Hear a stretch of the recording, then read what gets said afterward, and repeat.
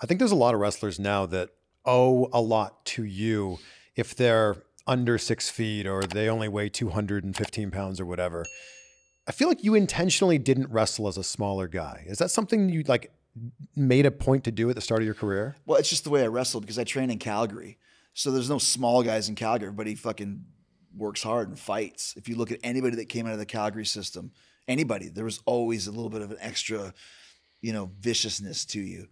And then starting in Japan so young, I was my first tour of Japan, I was 20 years old. You know, and they beat the fuck out of you there. And if you, the only way they have them stop you beating the shit out of you is to, is to beat them up back. Huh. I remember my very first night in FMW, October of 1991. So I was 20 years old. Um, uh, first I remember I was there with Lance Storm and he was so disappointed because we show up there and he's like, we're not even on the show tonight. I'm like, show tonight. I'm like, what? He goes, yeah, go look at the card. And so I looked at the card. I started at the bottom and then looking through like, fuck, we're not there. And I see the top and it was like Onita and a couple guys against Kleiss and Runts, which is Chris and Lance.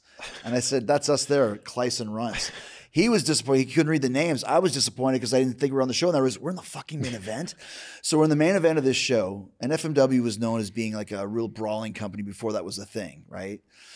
Um, and what they would do is they would bring in martial arts guys. So there was a guy there named Wada who was a kickboxing champion. And he looked every ounce of it. Ears were fucked up, no front teeth, just really ugly. Like looks like he should have been on the opposing team in Slap Shot at the end, you know? and so he's out there and dude, this guy is just kicking the shit out of me. I was like, fuck. This guy's gonna kill me. And I got so mad. In FMW, you can do whatever you wanted. He kicked me in the fucking face. I went to the floor. I grabbed a chair. I came in and I hit him as hard as I could over the head with the chair.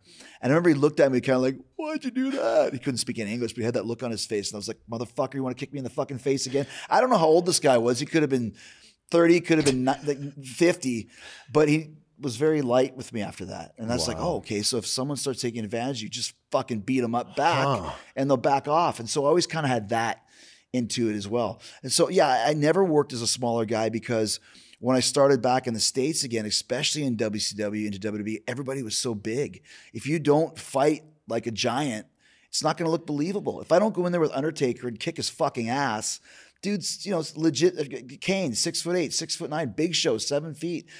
You know Hunter six four. Steve is six four. Rock is six four. I'm five foot eleven. If I don't fight up to that level, I'm not going to be working with those guys.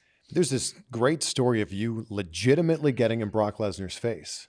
And I, I can't believe that anyone would want to get in Brock Lesnar's face. You just you didn't back down. No, the, the switch flipped, and I was like, "Fuck it, I don't care." I remember just looking looking at him, and it's like, if he hits me, I'm gonna bite his nose off, and he would have killed me. Like, thankfully, we didn't get in a fight, but that was who my, broke that, that, up. What's that? Who broke the fight up? Um, a couple people tried to, and we told both to fuck off, and finally Vince made us stop. You're not going to tell him. Or he was going to fire off. us. Yeah. Um, yeah. Once again, I mean, it's just things that happen when you get worked up, and and there's there's a long story behind it. But I mean, nothing but respect for Brock. But I remember thinking like, he's going to kill me, but I'm going to bite his fucking nose off. Like that's what he's going to go home with. I'll be dead or in the hospital or broken face. He's not going to have a nose. so, thankfully, did get broke, broken up because.